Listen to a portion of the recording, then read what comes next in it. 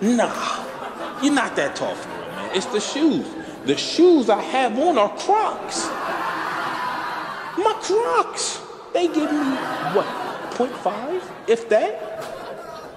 And, and, and the disrespect continues on there because here we go. Here, here, speaking on height, speaking on height briefly, I just want to give y'all something brief. One of the greatest feelings I ever had in life was being told that I was six five. Oh boy, and I ran with that. Oh man.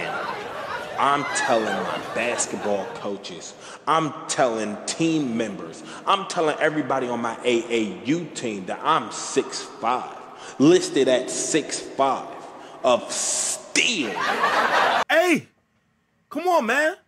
Watch my low budget comedy and enjoy it. Enjoy this. You may never see me again. Follow for more.